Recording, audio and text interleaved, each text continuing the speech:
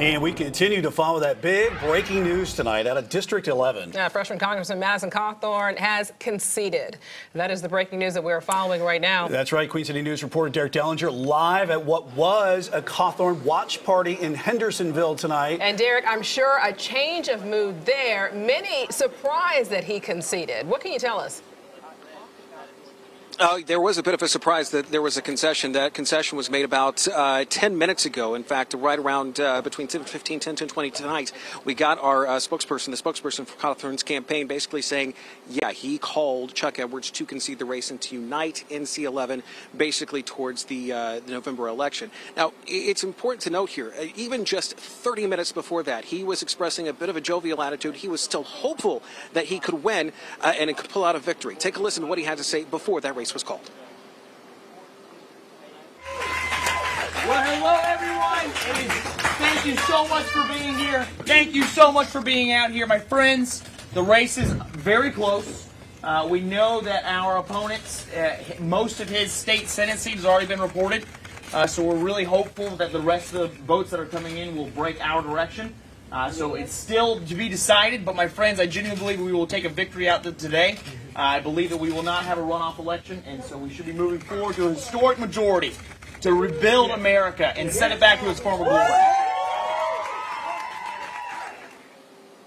Now, it's important to note that part of what he said there was uniting that uh, the, the, NC11 towards that Republican majority coming up in the House. It, it, it, was very vague in that language. He didn't necessarily say that he was going to be eking out a win, even though he said a little bit earlier in that statement that he was hoping for that. Now, it's important to note here, part of the reason he felt that way was just because a lot of the precincts hadn't reported yet.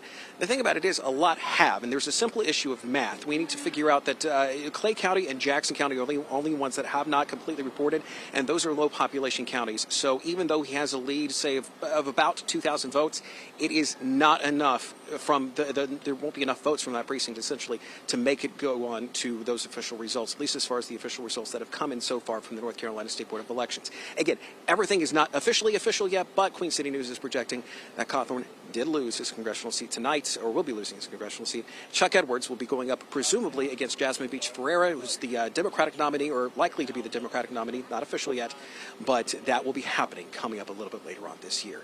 That is the story here from Hendersonville. Derek Dellinger, Queen City News. Derek, thank you so much for the update there. Let's bring in Khalif Rhodes to the conversation now, our political expert being here with us tonight. Lots to really kind of break down with this. I mean, first, I think just the news that Madison Cawthorn lost his seat and that he conceded. Uh, and kind of what do we take from this as to um, voters now saying, hey, this is how we feel?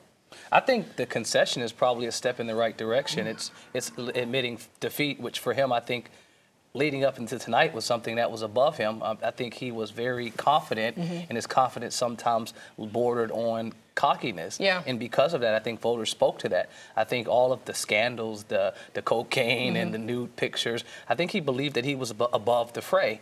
Um, and following more of the Trump bandwagon, even a little bit higher. And I think today was a referendum on that kind of antics from him, at least. And that's one thing that I noticed. I mean, when you heard Cawthorn speak tonight, it, it was a different tone. Of course, you know, it's a lot in conceding, but I think it was more of maturity there that many of us have not seen. Haven't seen that the whole time, and I was happy to hear that. But I, I can say that he was already vulnerable as a freshman yeah. congressman already. And so if you add those extra scandals, he didn't make it better for himself. And I think his opponent did a good job of trying to stay away from that. Right. Edward said the whole time, I'm not here for the antics. Right. I really want to talk about his record, him not voting, him not really being connected to his district, and I want to do that for my folks. And I think he really did an excellent job of hitting home those points when he could have dug deep into the, the scandals. Right. And I think the voters really early numbers show that they voted for him. And it really says a lot about the voters because keep in mind, this is somebody at one point who wanted to be able to switch areas they wanted to represent and then come back to the area of that district. This is somebody whose own political party said they want to distance themselves from Madison Cawthorn. So I think that there's a lot to learn from this of how voters feel. But what happens next? Where does Madison Cawthorn go? Do you think he still has a political future? He has to really take tonight, you know, as a as a learning lesson, mm -hmm. and you really can't change who you are internally. So I'm not saying that he has to, needs to go back and change his core, mm -hmm. but he actually go back and be that person that won by 12 points um, in his last election. Mm-hmm. And that was before a lot of the scandal. It was the bravado, it was the confidence, but it wasn't the over un, un, untouchable. Mm-hmm. And I think over the last couple months, he felt that he was untouchable.